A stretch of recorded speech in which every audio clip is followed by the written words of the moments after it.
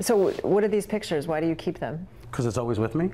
Charles Mattina was in and out of rehab before finally kicking his eight year addiction to pain medication. It reminds you of that Yeah, oh, rock bottom moment. Oh, yeah. Look at that face. You can't miss it. And then things get better. yeah, and then this guy comes back out and uh, reminds you that this is who you want to be. Yeah. You know, you don't want to be that other person. A doctor first prescribed the pills to cope with a foot injury. He just said, here, this is for the pain. You know, I wasn't told anything about the repercussions of taking the medication, you know, because, you know, it's not just like a miracle drug, it's more like a nightmare drug. Opioid addiction isn't an obvious problem here on the streets of suburban Long Island. It's largely hidden. But with one person on average dying every day from an overdose and even more people addicted, the impact is widespread and the costs increasingly borne by taxpayers. That's why Nassau County is suing. In this case, 19 pharmaceutical companies and five doctors. The lead attorney in the case says they are guilty of misrepresenting how safe the drugs are.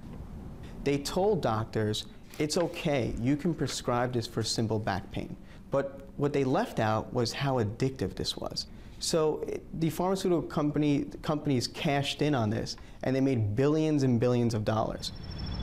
The county is hoping to recoup money spent on treatment and related health care, overtime and special training for law enforcement, and lost productivity, which they say amounts to millions of dollars. This is, you know, white picket fence America. And Jeff Reynolds works with families torn apart by opioid addiction. He says there aren't enough treatment facilities or government resources to deal with the crisis. We've seen communities thrown into immense chaos as a result, in some cases, of the aggressive marketing of these medications. As these companies laugh all the way to the bank, they ought to do something to help clean up the mess they helped create. None of the drug makers named in the suit would appear on camera, but Purdue said in a statement they vigorously deny the allegations.